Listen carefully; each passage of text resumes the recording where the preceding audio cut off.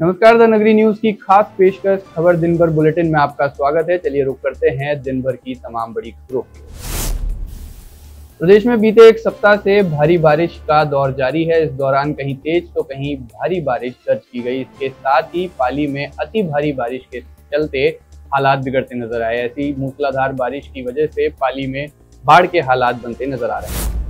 राजस्थान विधानसभा में एक बार फिर से जोरदार हंगामा देखने को मिला। विधायक गोपाल शर्मा ने राहुल गांधी को निशाना बनाते हुए कहा कि जब मुंबई बम ब्लास्ट हमला हो रहा था, तब राहुल गांधी रात को गुड़गांव के फार्म हाउस पर पार्टी कर रहे थे।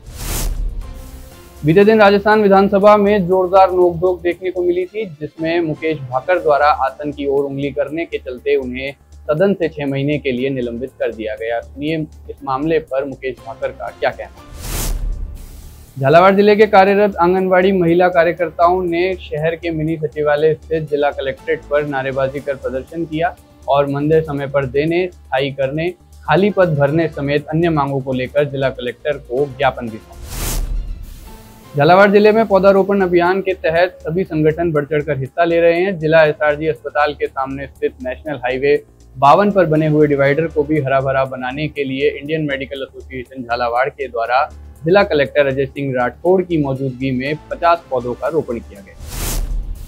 ब्यावर जिला कलेक्टर उत्सव कौशल ने कल हरियाली तीज के अवसर पर मुख्यमंत्री वृक्षारोपण अभियान एक पेड़ माँ के नाम के तहत जिला स्तर पर आयोजित होने वाले कार्यक्रम की जानकारी दी और ज़िले वासियों से ज़्यादा से ज़्यादा पौधारोपण कर महोत्सव को सार्थक और सफल बनाने की अपील की।